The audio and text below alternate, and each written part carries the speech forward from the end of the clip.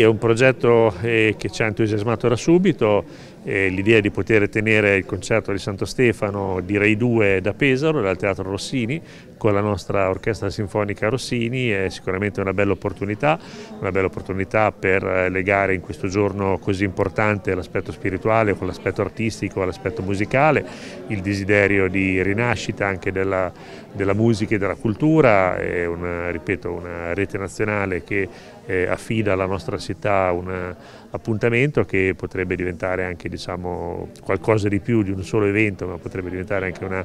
una bella abitudine nel periodo delle feste legata alla città di Pesaro, per quello abbiamo deciso da subito di sposare questa idea che vedrà susseguirsi sul palco in un vero e proprio eh, spettacolo televisivo, quindi non sarà solamente un concerto, ma sarà anche l'opportunità di parole, di contestualizzare in una giornata così importante dal punto di vista spirituale, così come anche di eh, fare vedere tante immagini importanti della città di Pesaro in questo momento che dalla cultura si vuole ripartire. Verranno anche consegnati dei premi a Ron, a Dodi Battaglia e a Rafael Guerazzi, quindi per capire insomma, un po' anche il livello del